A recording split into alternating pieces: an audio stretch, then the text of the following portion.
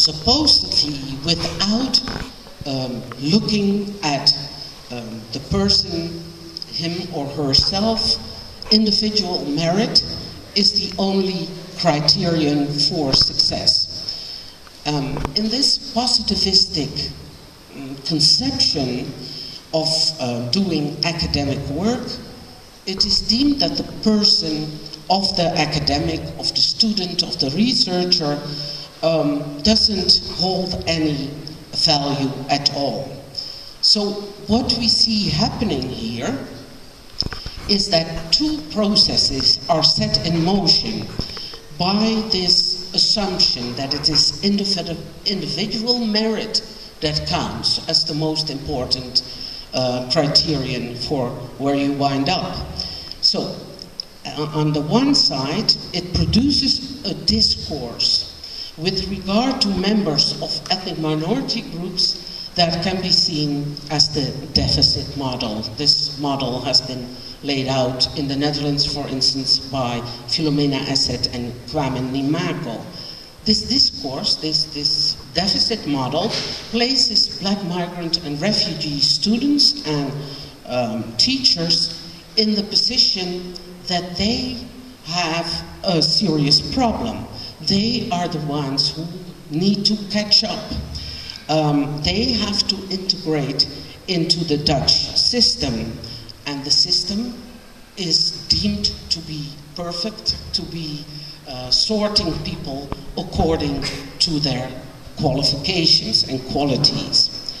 Um, if black migrant and refugee students and teachers are not coming into the academy in, uh, in, uh, numbers that would be uh, referring to their presence in the total population, then it has to do with their lack of intellectual qualities, their lack of intellectual skills, lack of motivation, um, maybe also um, arrears in linguistic possibilities. Maybe they have a lack of support uh, from their families. Um, but the system is all right. It is the black migrant refugee students and teachers who are the ones that need to make amends. This deficit model has very negative consequences for black migrant and refugee students and teachers because they are forever deemed to be not good enough. Um, they are easily inferiorized.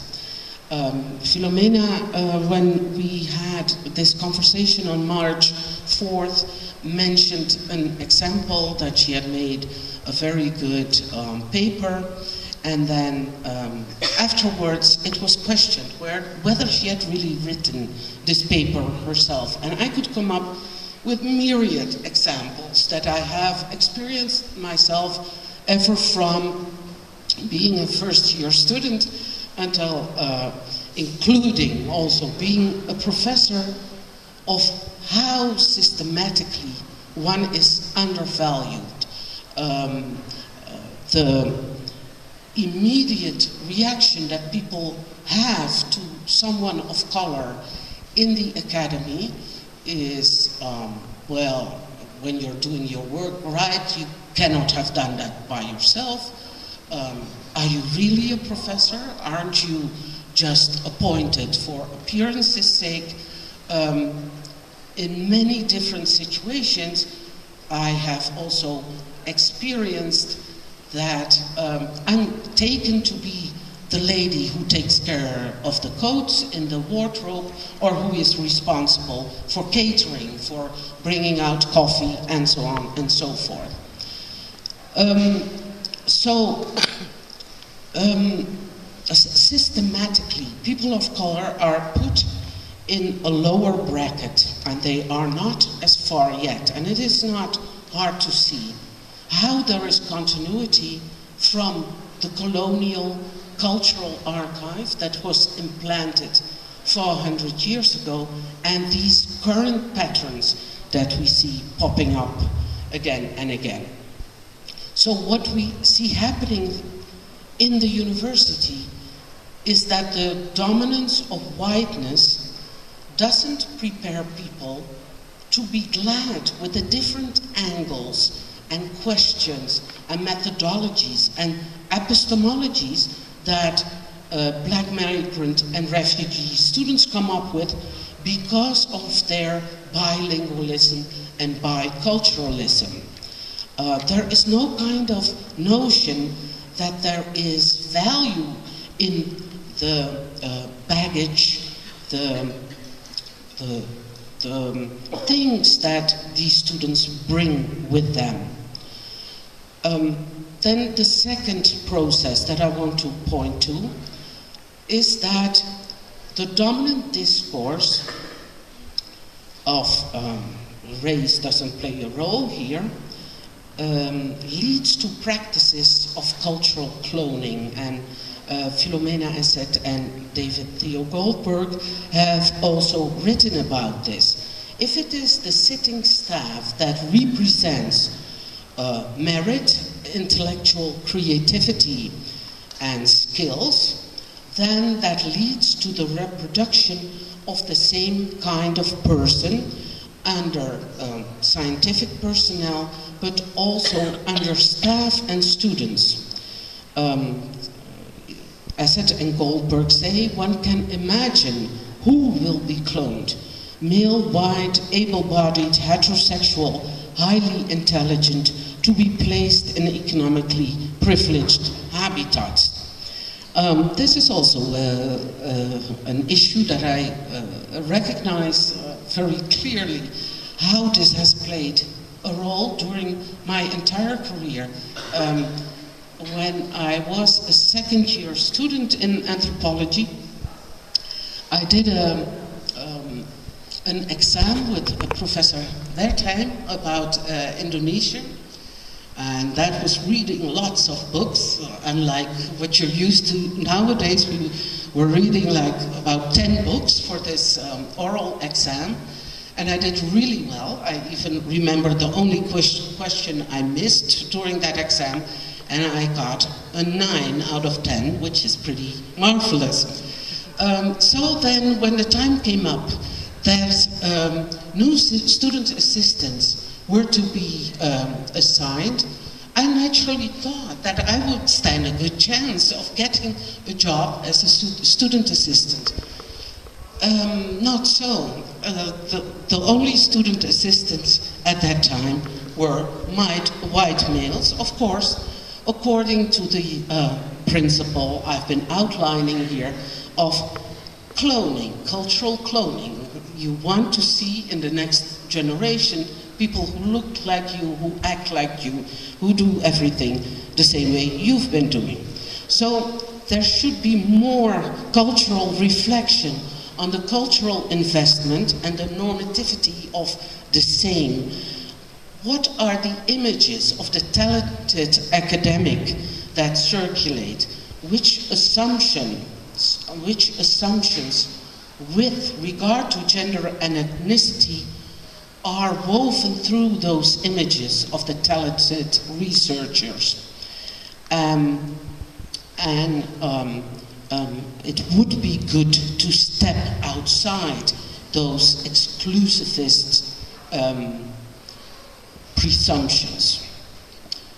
The third part, that is towards a decolonial university. I think my uh, broadest aim has been, uh, when I was working at the university, to strive for a form of sustainable education, decolonial education, that is, education that commensurately benefits different groups and categories within the population and that gives equal chances to the next generations. So we should strive for gender conscious decolonial education. And this is not only a question that matters to black migrant and refugee students, but it also has consequences for white students and teachers and for the organization as a whole. Students of the future will have to function in a very diverse society, both as far as gender, as uh, class, and race, ethnicity is concerned. But they are still being educated in a curriculum, in a canon that is monoracial, monocultural, and uh, mostly monogendered. So one of the very key questions that any university should ask itself is what kind of knowledgeable people do we want to produce and do we want to educate for the society that is coming, for the society that has been forming during the past seven decades, in which gender equality, sure, is important, but in which we also finally should start looking at racial equity. Which are the skills and the knowledge that our students of today have to uh, have in their fingers to be able to contribute to society as people will be in the lead in future, whether it's as, as judges, as professors themselves, as linguists, as people working in health, it is important to be aware of how gender and race in their intersections work. And um, if we want to uh, avoid the intelligentsia of the future to still be so split up along, along lines of gender and race, we really uh, should have been active.